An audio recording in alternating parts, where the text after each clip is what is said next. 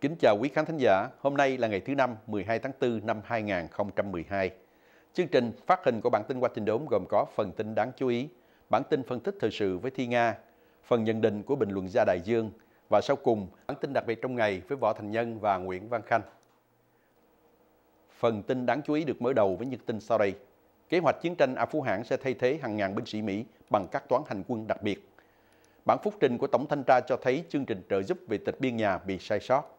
Ông Gingrich tuyên bố rằng cử tri muốn ông lưu lại cuộc tranh cử của đảng Cộng Hòa. Trước hết, kính mời quý khán thính giả theo dõi bản tin Kế hoạch chiến tranh A Phú Hãng sẽ thay thế hàng ngàn binh sĩ Mỹ bằng các toán hành quân đặc biệt. Đô đốc Bill McCraven, chỉ huy trưởng lực lượng hành quân đặc biệt đề nghị một kế hoạch tiềm năng về chiến tranh A Phú Hãng để thay thế cho hàng ngàn binh sĩ Hoa Kỳ bằng các toán nhỏ hành quân đặc biệt kết hợp với người A Phú Hãng nhằm giúp cho quân đội không có kinh nghiệm của nước này đối phó với cuộc tấn công của Taliban khi quân Mỹ rút lui. Các toán hành quân đặc biệt này sẽ cung cấp cho người A Phú Hãng sự cố vấn thực tiễn về cách làm thế nào đẩy lui những cuộc tấn công,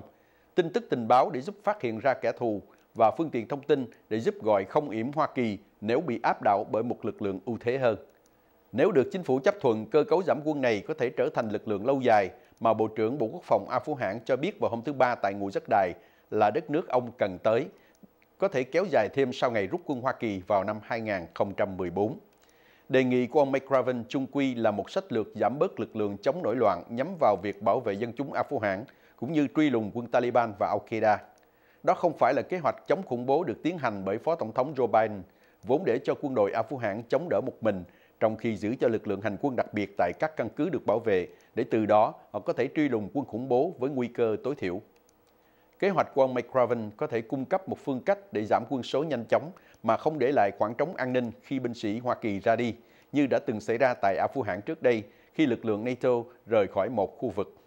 Theo sách lực này, hàng ngàn binh sĩ hành quân đặc biệt như Biệt Hải và lực lượng Delta của bộ binh sẽ tiếp tục hoạt động với lực lượng đặc biệt Afghan để đột kích những mục tiêu khủng bố. Bản phúc trình của Tổng Thanh tra cho thấy chương trình trợ giúp về tịch biên nhà bị sai sót. Một cơ quan giám sát của chính phủ cho biết Bộ Tài chánh đã vội vã thực hiện việc cải tổ quan trọng về chương trình ngăn ngừa tịch biên nhà trong năm 2010, hạn chế khả năng của chương trình để giúp những người không có việc làm hay mắc nợ nhiều hơn giá trị căn nhà. Theo bản phúc trình được công bố hôm nay bởi Tổng Thanh tra đặc biệt về cứu nguy tài chánh, quỹ được gọi là Hardest Hit Fund của Bộ Tài chánh phụ trách phân phối ngân quỹ cho các cơ quan gia cư tiểu bang về một số các chương trình đã bị phiền phức bởi những trì hoãn và bất đồng với các công ty nợ thế chấp nhà vốn phải tham gia cho chương trình này được thành công. Bà Christy Romero, Tổng thanh tra đặc biệt của chương trình trợ giúp tích sản khó khăn hay Trouble Access Relief Program cho biết sự thất bại của Bộ Tài chánh trong việc ấn định những mục tiêu ý nghĩa cho chương trình đã khiến cho cơ quan này dễ bị chỉ trích cho rằng họ cố tránh né trách nhiệm. Quỹ Hardest Hit là một phần của việc cứu nguy tài chánh lớn hơn, được biết là chương trình trợ giúp tích sản khó khăn là một khoản cứu nguy trị giá 700 tỷ Mỹ Kim được chấp thuận vào lúc cao điểm của cuộc khủng hoảng tài chính năm 2008. Ngân quỹ này được thiết lập để sửa chữa những khuyết điểm trong nỗ lực trước đó của Bộ Tài chính để ngăn ngừa tịch biên nhà. Những người chỉ trích nói rằng chương trình Nguyên Thủy không giúp ích cho những người thất nghiệp hay mắc nợ nhiều hơn giá trị căn nhà của họ. Cuộc vận động vào Tòa Bạch Ốc mở ra với những trận công kích dữ dội Tổng thống Barack Obama và đối thủ Cộng hòa Mitt Romney đã mở những trận công kích dữ dội vào nhau trong ngày hôm qua, khi họ mở ra một cuộc chiến kéo dài 7 tháng để vào Tòa Bạch Ốc. Ban vận động của ông Obama đã cho phổ biến một cuốn video ghi rõ giây phút vùng về của ông Romney trong cuộc vận động tranh cử và một lần nữa lại mô tả ông ta như là một nhà bảo thủ cô lập giàu có. Ông Romney công kích khả năng lãnh đạo kinh tế của ông Obama như là một sự thất bại và mô tả ông là một sự thụt lùi về kỷ nguyên các chính phủ dân chủ. Trong hai ngày liên tục, ông Obama đã cổ võ cho quy luật được gọi là Buffett, tức là một kế hoạch bảo đảm rằng những nhà triệu phú như cựu viên chức điều hành Romney phải đóng ít nhất 30% thuế lợi tức. Tại một sinh hoạt ở Tòa Bạch Ốc, ông Obama nói rằng đảng Cộng Hòa đã chuyển sang cánh hữu và ông đã nhắc lại niềm tin của cựu Tổng thống Ronald Reagan, một mẫu người bảo thủ Cộng Hòa cho rằng giới giàu có phải đóng góp phần chia sẻ công bằng của họ. Tuyên bố với một số các nhà triệu phú và thư ký của họ, ông Obama cho rằng những gì ông Ronald Reagan kêu gọi lúc ấy là giống y như điều mà ông kêu gọi bây giờ, tức là quay trở lại sự công bằng căn bản. Tuần tới, Quốc hội sẽ cứu xét tới quy luật Buffett, vốn được đặt theo tên của nhà đầu tư tỷ phú và người ủng hộ ông Obama, tức là ông Warren Buffett. Theo các cuộc thăm dò được công bố hôm thứ Ba, ông Obama được sự ủng hộ của 57% phụ nữ, so với 38% phụ nữ nói rằng họ ủng hộ ông Romney. Ngược lại, ông Romney được sự ủng hộ của 50% đàn ông, trong khi ông Obama được 44% đàn ông ủng hộ.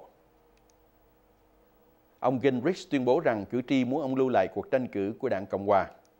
Hôm qua, ông Newt Gingrich tuyên bố rằng vẫn có thể ông sẽ thắng cuộc đề cử làm ứng cử viên tổng thống của đảng Cộng hòa. Nói về cựu thống đốc Mitt Romney của Massachusetts, người đã tiến tới gần hơn cuộc đề cử một ngày trước đó sau khi đối thủ chính Rick Santorum của ông này bỏ cuộc. Ông Gingrich cho biết cuộc tranh cử chưa xong và ông Romney vẫn chưa chiến thắng.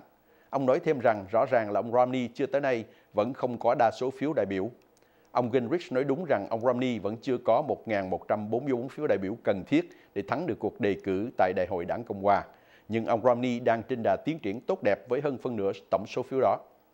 Trong khi đó, ông Gingrich theo sau ông Romney một cách đáng kể và sẽ cần phải thắng 94% số phiếu đại biểu còn lại trước Đại hội đảng tháng 8 để được đề cử. Đó là công việc không thể xảy ra bởi vì hầu hết các tiểu bang sử dụng hệ thống tỷ lệ để phân phối phiếu đại biểu. Vị cựu chủ tịch Hạ viện này đã không thắng được phiếu đại biểu kể từ ngày 13 tháng 3, nhưng ông nói hôm qua rằng ông sẽ làm tốt hơn trong những cuộc bầu cử sắp tới, mà giờ đây ông Santorum không còn ra tranh cử nữa. Ông Gingrich hứa sẽ vận động cho tới kỳ đại hội ở Tampa, Florida và nói rằng ông muốn giúp cho đảng Cộng hòa phản ảnh chủ nghĩa bảo thủ của thế kỷ thứ 21.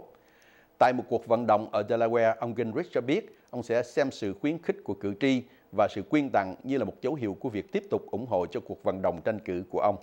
Ông nói có khoảng 3.500 người đã quyên góp tiền bạc qua website của ông kể từ chiều hôm thứ Ba, nhưng ông không cho biết đã gây quỹ được bao nhiêu. Ông Obama gây quỹ gần 1 triệu Mỹ Kim tại DC. Sau khi gây quỹ được chỉ dưới 2 triệu Mỹ Kim tại ba cuộc gây quỹ ở Florida hôm thứ Ba, Tổng thống Barack Obama lại tham dự cuộc gây quỹ tại Washington DC vào tối hôm qua. Sinh hoạt không có báo chí tham dự được tổ chức tại khách sạn W gần Tòa Bạch Ốc. Một viên chức thuộc ban vận động xác nhận rằng có khoảng 20 người ủng hộ tham dự sinh hoạt này. Mỗi người đóng 40.000 Mỹ Kim cho một vé, có nghĩa là Tổng thống gây quỹ được ít nhất là 800.000 Mỹ Kim.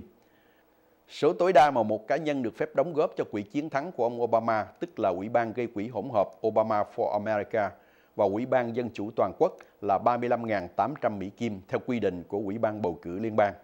Tổng thống được phép thu tiền cho cuộc tổng tuyển cử và cuộc vận động không cạnh tranh cho việc đề cử của đảng Dân Chủ.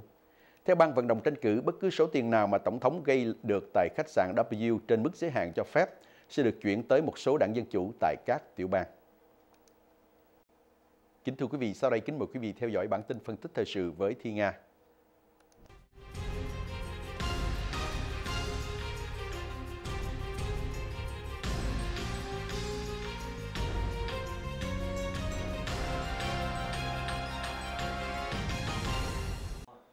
Thi Nga kính chào quý khán thính giả và mời quý vị theo dõi bản tin phân tích về vụ đối đầu giữa Philippines và Trung Quốc tại Scarborough.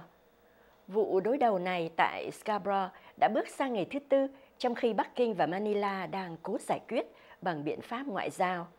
Bãi cạn Scarborough có diện tích 150 km vuông, nơi cao nhất là 3m, cách Philippines 220 km,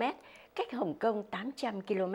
được Trung Quốc, Philippines và Đài Loan nhận chủ quyền, hiện do Manila cai quản. Phi cơ hải tuần của Philippines phát hiện 8 ngư thuyền lạ ở trong lòng chảo Scarborough hôm 8 tháng 4 nên phái lực lượng đến kiểm soát và phong tỏa lối ra chờ tuần duyên hạm đến bắt giữ ngư dân đánh bắt hải sản bất hợp pháp. Cục Ngư nghiệp Trung Quốc phái hai tàu hải giám đến chen giữa chiến hạm Philippines và ngư thuyền Trung Quốc hôm 11 tháng 4 và kêu gọi đối phương rời Scarborough. Cục đã điều động thêm tàu hải giám thứ ba đến vùng tranh chấp hôm 12 tháng 4 và tuần duyên hạm Philippines đã rút đi.